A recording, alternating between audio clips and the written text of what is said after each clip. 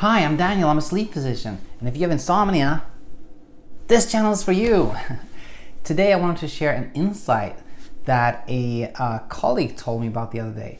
It's about the concept of the sleep balloon, a balloon that you fill up during the day to allow you to sleep well at night.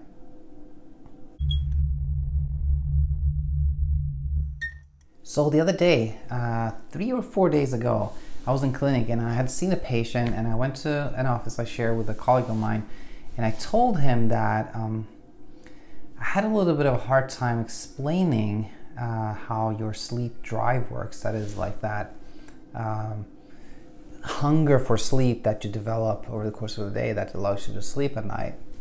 And he said, uh, well, when that happens to me, I usually uh, talk about the sleep balloon. And I said, what's that? I never heard that one before. This is what he told me. So imagine that uh, when you wake up in the morning, your sleep balloon is empty. As you um, stay awake during the course of the day, it expands and expands and expands. And you know, 15 or 16 hours after you uh, woke up, then it may be full. And you're ready to sleep. And as you sleep, it you know gently deflates over the course of the night and, and it's empty again in the morning.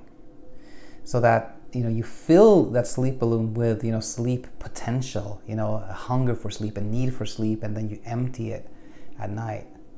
Now uh, he, he also told me that you know what you can tell patients is if you uh, are uh, inflating the balloon as you're staying awake during the day but then you take a nap then you kind of deflate it. You let out some of that sleep potential and you may not be able to sleep well at night uh, when he talked about it, I was like, yeah, that's a really good analogy, and uh, I just want to share that with you. Uh, I hope it makes sense. If not, leave a comment or email me at insomniainsight at gmail.com, and I hope to uh, have you back here very soon. Bye bye.